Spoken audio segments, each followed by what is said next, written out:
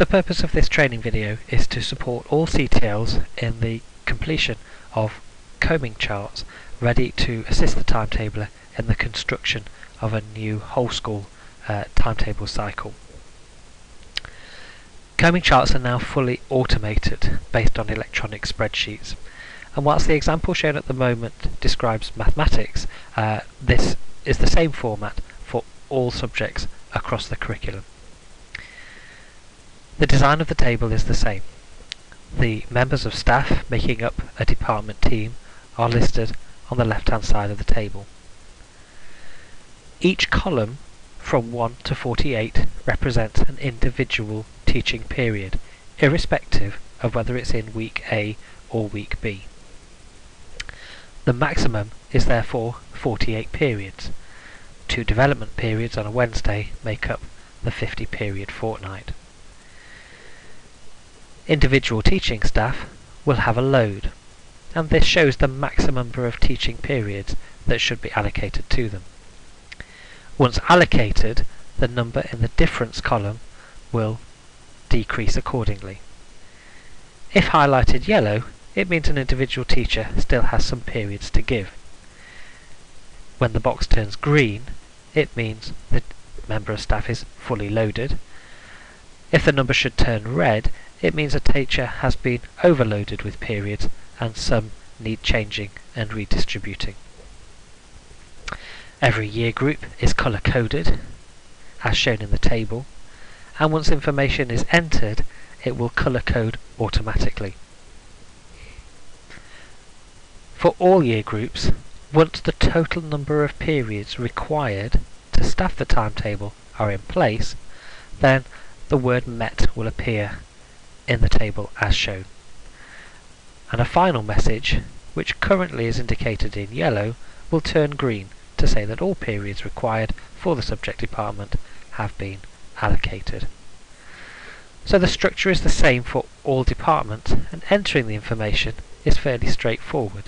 Let's say, for example, we wanted to enter um, year 11. In the case of maths, year 11 is in two half-year populations, 11A and 11B.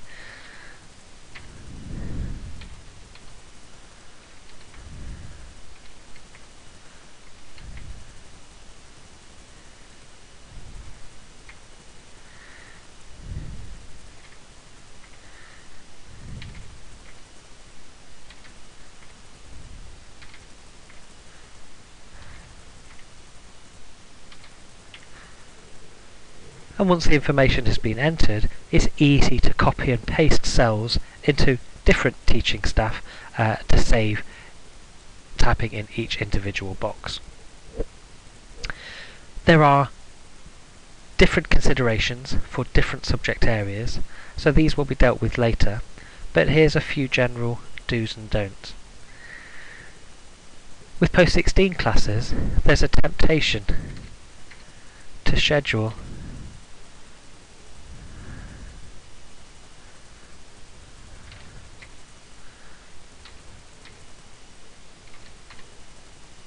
different year 12 periods together.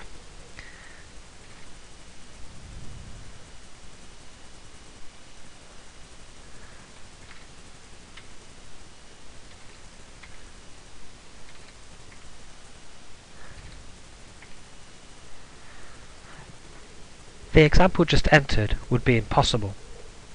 It would be impossible to schedule because students can only be attending any one subject at any one time and to put together maths in pool A and maths in pool B would represent a clash for a proportion of students.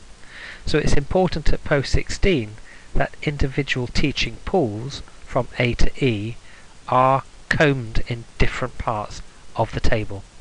This will become clear when we look at examples for particular subjects. So in this example I'd need to delete 12b and reposition it into an area where it wouldn't present a clash. The same principle applies in year 13.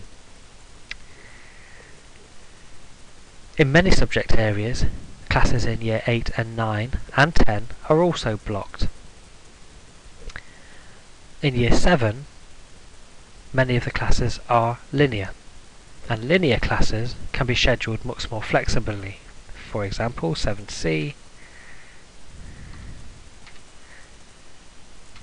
can be seen to fill in some of the spaces previously not utilised. Once all the information on the combing chart has been entered, you'll notice that the allocated column shows the number of periods combed in and the difference continues to be shown between the allocation and the load in the difference column.